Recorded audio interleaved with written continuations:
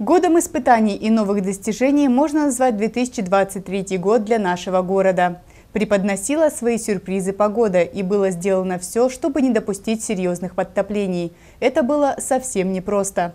Но решая все текущие проблемы, Славянск на Кубани уверенно продолжил свое развитие.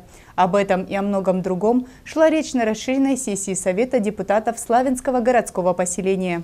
Депутаты города, района и края, представители силовых структур, администрации, общественники, руководители предприятий и организаций были приглашены на сессию Совета городского поселения, на которой подводились итоги работы главы и администрации города за 2023 год. Ежегодные отчеты о работе давно уже стали необходимостью. Они вызваны потребностью сфере действия власти с мнением населения обсудить планы на ближайшее будущее. Глава Славянского городского поселения Александр Берсенев представил вниманию депутатов и приглашенных лиц подробный доклад, в котором был дан анализ всего сделанного за год. На протяжении многих лет выполняются проект за проектом, реализуются федеральные и краевые программы. Как и прежде, все делается для развития города и благополучия жителей. Бюджет – главный финансовый документ для любого поселения. Фактические расходы Славянска на Кубани за 2023 год составили более 872 миллионов рублей. На благоустройство дорожное и жилищно-коммунальное хозяйство было направлено больше всего расходов – 488 миллионов рублей. На содержание общественно-социального центра израсходовано свыше 245 миллионов. Удалось реализовать 9 муниципальных программ, в том числе 3 на условиях софинансирования. Александр Берсенев рассказал о преодолении последствий обильных ливней и поднятия грунтовых вод, что привело к чрезвычайной ситуации – Важным направлением работы является взаимодействие с жителями. Администрация оперативно реагирует на обращения славянцев по вопросам ЖКХ и благоустройства, в том числе и очистки ливнестоков по всему городу. Таким образом, в течение года было проведено ряд работ по промывке ливневых систем с помощью специальной техники по различным улицам, по юных коммунара, по, по школьной, да и многие другие, да. Прогвединовая улица, набережная Пионерская до Запорожска, Дзержинского, Островская до Крепостной. Девять площадок обновлено благодаря поддержке депутата Краевого законодательного собрания Виктора Васильевича Чернявского. Песочницы, карусели, горки и уличные тренажеры. Новые игровые элементы появились в городских дворах на квартирных домов. Где-то это карусели, рухоходы, либо площадка для футбола, в некоторых дворах двойные качели, баскетбольное оборудование. Учитывая пожелания жителей, в Кубрисе был проведен ремонт стадиона. Вокруг спортивного объекта построена беговая дорожка и тротуар для пеших прогулок, обустроена площадка с уличными тренажерами. Постоянный диалог и обратная связь с городской общественностью во многом положены в основу нашей работы. Председатели ТОС, наши помощники, которые принимают участие в реализации проектов, обращаются с жителями, подсказывают, на что обратить внимание. Благодаря участию жителей квартальных в практике по инициативному бюджетированию в городе открыли новую площадку. Спортивный и игровой комплекс построен по улице Западной в районе ДРСУ. Более трех миллионов рублей было направлено на строительство площадки. Более 100 обращений поступило по заявлению военнослужащих или их семей. Просьбы, каса... Э, просьбы касались оказания бытовой помощи, грейдирования дорог, обрезки деревьев, прочистки ливнестоков. Без сомнения, на данное заявление мы в первую очередь обращаем особое внимание. В рамках нацпроекта «Жилье и городская среда» построен еще один большой объект «Экотропа Утиные плавни». Комплекс работ включал благоустройство набережной озера рядом с Северным парком со стороны улицы Запорожской. Также проложены новые линии уличного освещения, отремонтированы фасады зданий муниципальных учреждений культуры. В приоритете продолжает находиться и строительство дорог и тротуаров. Улица Запорожская – одна из основных улиц можно сказать, Славянска на Кубани с интенсивным движением автомобильного транспорта и большим потоком пешеходов.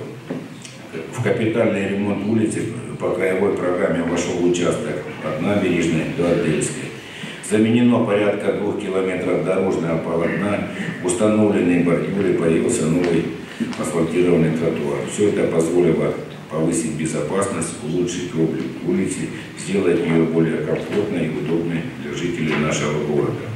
За счет местных средств отремонтировано 7 дворовых проездов, где были заасфальтированы белевые площадки и парковки. Делу очень помогает тесное сотрудничество городской власти с представителями депутатского корпуса, территориального общественного самоуправления. Александр Берсенев сказал, что уже проводится работа по выполнению планов 2024 года. Подытоживая все сказанное, он поблагодарил всех, кто внес свой вклад в достигнутые городом успехи, руководителей, специалистов и рядовых тружеников. После основной части глава города ответил на вопросы собравшихся, которые касались в основном темы благоустройства и обеспечения комфортности проживания. Председатель Совета Славянского района Григорий Литовка отметил, что развитие города, экономическое и социальное, в центре внимания районных властей, а также положительно оценил объем сделанной работы. Пришел хозяйственник, который проработал ПМК многие годы, который понимает, что такое уровень воды, что такое вал. Эта вся жизнь была посвящена там. И он сегодня действительно детально разбирается, вникает. И благодаря этому вот те трехмесячные нормы, которые выпадают буквально в одну ночь, приходится им решать. И них уверенно их команда справляется. Александр Ильич, Всем вам терпения, здоровья. Я думаю, что население и депутаты поддержат вас. Сегодня дадут вам положительную оценку. Депутат Законодательного собрания Краснодарского края Денис Выпринцев подчеркнул, что глава города в курсе всех задач и успешно их решает. А он решает вопросы, вот из этих двух тысяч обращений, это 80, а то может даже 90 процентов, это непосредственное участие э, главы города. Начиная от тротуара и заканчивая там тоннель или там не обрезаны где-то у нас деревья там на перекрестке.